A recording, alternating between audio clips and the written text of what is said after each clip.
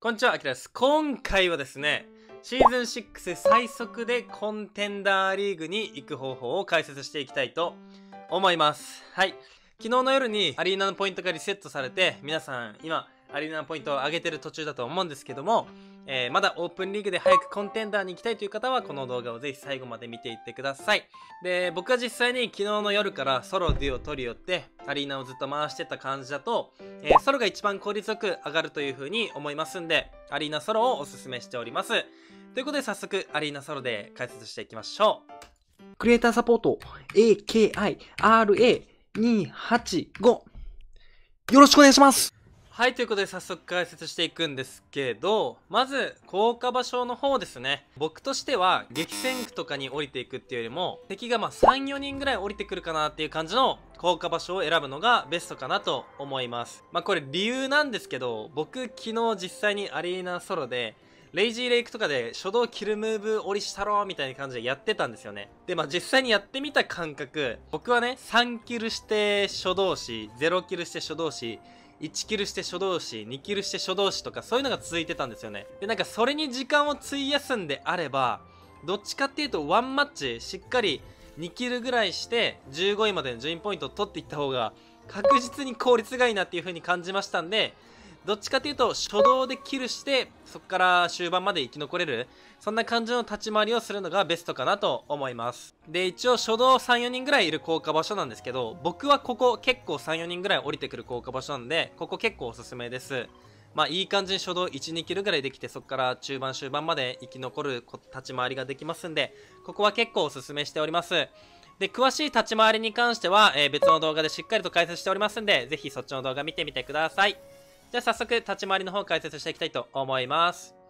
とりあえず今回初動フリーっぽいんでまあ普通に漁っていきますね。で、初動降りた瞬間に意識することなんですけど、まずは武器ですね。武器とポーションを確保してください。ポーションは確実に50欲しくて、ショットガンとアサルト系、もしくはショットガンとサブマ系は確実に一番最初に手に入れておきたいなっていう感じです。で、実際にこの武器が揃ったら初動戦闘しに行ってもいいのかなっていう風に僕は感じます。はい。で、まあ別動画でも解説してるんですけど、この効果場所って初動でポンプとスカーを作ることができるんで、めちゃくちゃおすすめです。本当に、ぜひ、マジ、マジで見てください、動画。マジでおすすめなんで。はい。で、一応初動を意識することなんですけど、中盤終盤で戦えるような武器、資材、回復アイテムを集めておくっていうのが、えーベストかなと思います。まあ、とりあえず、ポンプショットガンとスカー作っていきます。はい、デカ発見。はい、という、まあ、こんな感じで、とりあえず、戦えるだけのシールドと資材と、まあ、武器が揃っておりますね。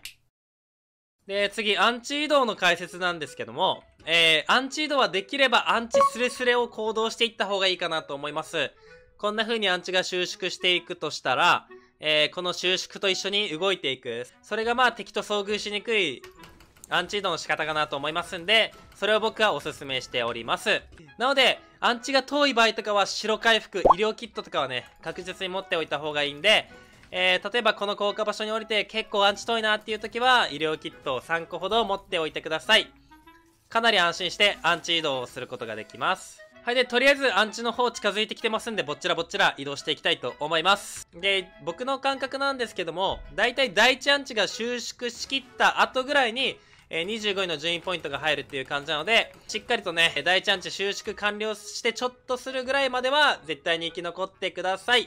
とりあえず移動していきます。で、移動中はとりあえず、えー集めきれなかった分の資材とかをしっかりと集めてあげてください。で、索敵もしっかりと行ってください。順位ポイントを稼ぐためにはいかに敵に先に気づいて、えー先制攻撃を仕掛けるもしくは戦闘を避けるかなので、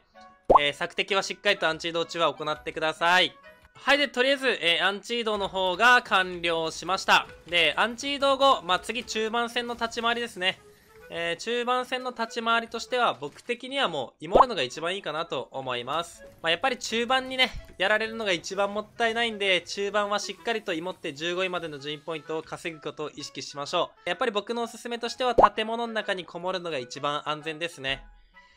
さあ、今回はちょっとアンチが外れちゃったんで、アンチ移動していくんですけども、ね、僕的に中盤、もしここがアンチにドンピシャ入ってるとしたら、こうするのがおすすめだよっていうのを話しておきます。僕的にはやっぱり、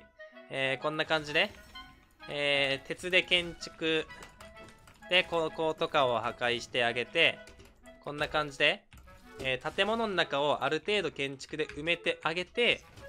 最終的にこの中に芋ってあげるこんな感じのイモリが一番安定するかなと思います。実際に敵が来た時も周りが自分の建築物なんで有利に戦うこともできますし、車線も切れて落ち着くことができます。で、ちなみに結構敵がこの近くに来てもスルーされることも多いんで、えーこういった感じの建物の中で、えー建築で埋めてのイモリっていうのはかなりおすすめとなっております。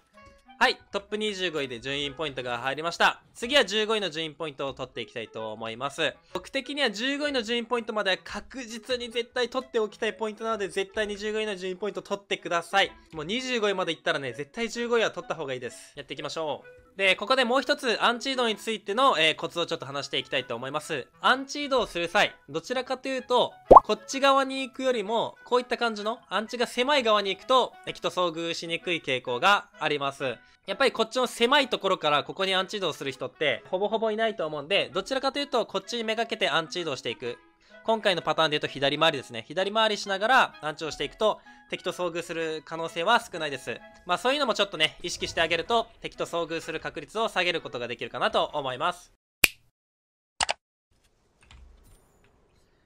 はい、とりあえず15位の順位ポイントまで入れることができましたけど、なんか敵がいる。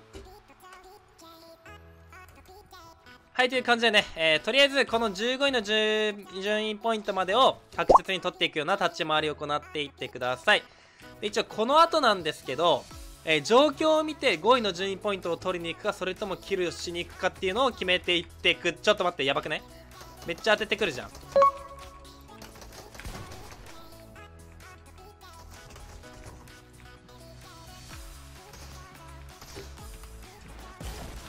うおーナイス援護なのかちょっとわからんけど。